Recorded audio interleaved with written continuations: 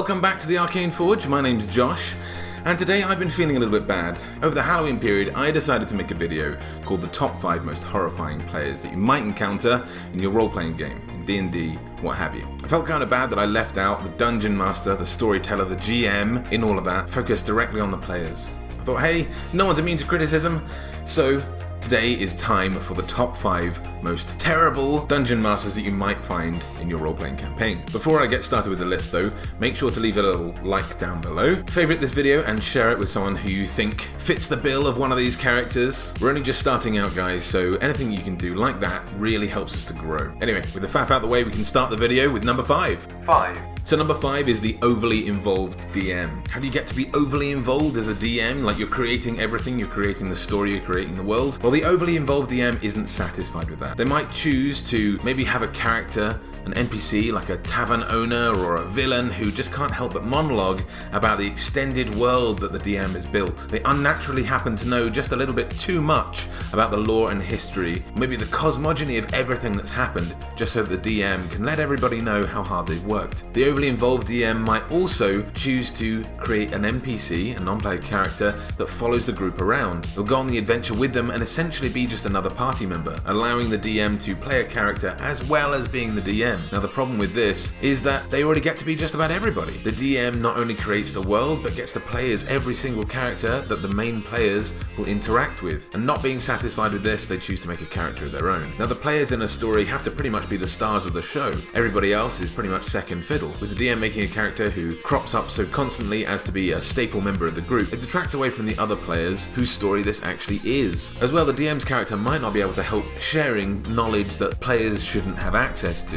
The DM, after all, wrote all the traps and puzzles in the world, they know all the maps, all the layouts, and if they give too many little hints here and there, it might take away from some of the surprise, some of the suspense, some of the feeling that the DMs actually worked really hard to make. Maybe this character is way more powerful than all the others for plot reasons, and that just takes away some of the gravitas, some of the impact of the actual player characters, and won't make them feel quite as special, which is basically the whole aim as a DM. Now, I'm not saying that it's a bad idea for DMs to create characters to tag along with groups. Occasionally, they can be really useful to motivate characters to go and do something or introduce strange and interesting concepts to a party. Maybe the players go to a horrible dimension where they can't breathe, and there happens to be an NPC who can put a bubble of air around them, causing the players to have to stay in a certain location that continuously moves with this NPC for risk of drowning. That can be a really interesting encounter, but if that character then follows the party for the rest of the whole adventure, then the DM is pretty much signaling that they want to be a player instead of writing the campaign. It's nowhere near as fun. So before you make an NPC that's going to follow the group around, just make sure that they're serving a function, they're serving a role, they're causing some sort of plot arc, they are there for a reason and not just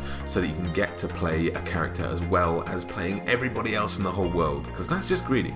4. Number 4 is something that I suffered with massively when I first started playing D&D, being the timid GM. Someone who's so concerned with everybody having a good time that they just go, uh, yeah, okay, okay, you do that. Doesn't matter how crazy or wild the players want to be, there always seems to be an excuse to let them do it. Oh, what your your movement speed is only 30 feet, but you want to charge to the other end of the room? Uh, uh, I mean, I mean, sure, yeah, uh, yeah. The, the ground's really slippery, so you can you can slide there. You want to swap weapons midway through combat and attack just about everybody in the room? Uh, yeah, sure, of course you can do that. It, it'd be great. The problem with this kind of DM is that although they're really really considerate and they're working hard to make the players enjoy themselves, they end up taking away the threat and the impact of their their actions from the players. The players might as well just be describing what they would do in a given situation. There's no rules, there's no consequences to their actions, because things will always kind of go their way. The game ends up becoming really unbalanced and actually less fun to play because things going wrong is pretty much at the crux of what makes D&D fun. Things go wrong and then the players adapt and they end up making something humorous or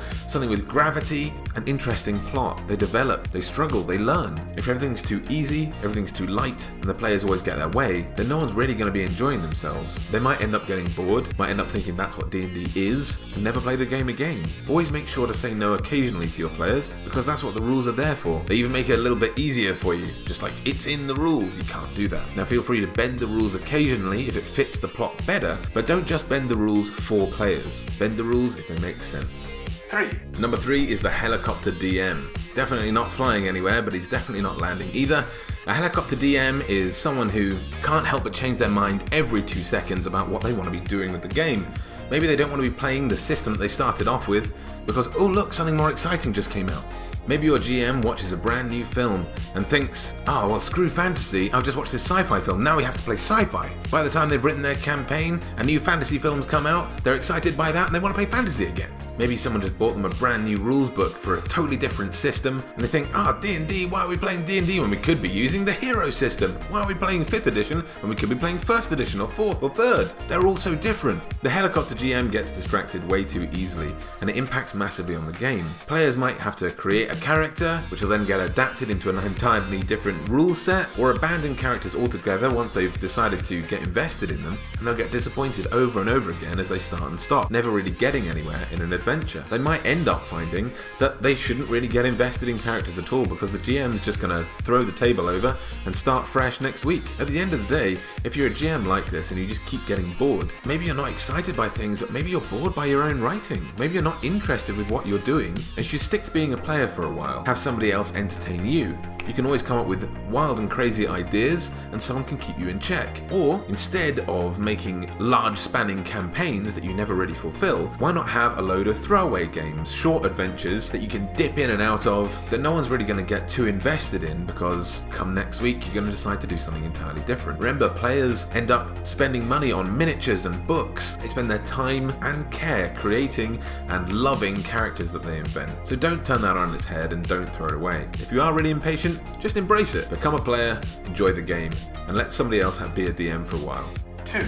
Number two are GMs with favoritism. Now, who knows why this favoritism occurs? It could be because they're playing with their partner. Their girlfriend, boyfriend, husband, wife, what have you, might be sitting at the table and they can't help but push everything their way, give them all the gold, give them all the cool items. If their partner comes up with a cool idea, suddenly that's what you're playing next week. Maybe the DM thinks that one character concept is so fascinating that they can base an entire story around them. That character becomes the central protagonist in this huge adventure. I mean, how wrong could it go? It's just like every book we read with a central protagonist, everybody else is a secondary character. Well, no one likes to feel like they're second fiddle. You don't want to leave people out and exclude them while you and this other player that you happen to have a favourite of leave to other rooms, have secret conversations about what's going to happen, and base a story entirely around them. It's not fair to the other people who are equally putting the effort in and playing the game. All the players deserve the same amount of respect and care that that favourite does. As I said before, players are the stars of the show, and to be relegated to a second fiddle character while you watch someone get all the glory can just be really disappointing. Why are you going to turn up week after week just to contribute to somebody else's story? Having a central character that fits a particular adventure, one quest, one session, something like that, can be really cool, like delve into their backstory and make it really important. But to have one character be the central theme behind an entire campaign can be massively disappointing to the people who didn't manage to make your cut. And if your favourite is in some way unrelated to the story itself, that's even worse. If they are like your partner or your best friend or something like that, you're just going to show a massive inequality to the rest of the players. They're going to feel pretty looked down on. 1. Finally, the worst of the worst. Number one is the overbearing DM. This person can't help but say no. In a game full of limitless possibilities where you can do literally anything you can possibly imagine, this guy's decided that his story has plot armor. They're going to railroad their players down an adventure that they have created and nothing else can occur.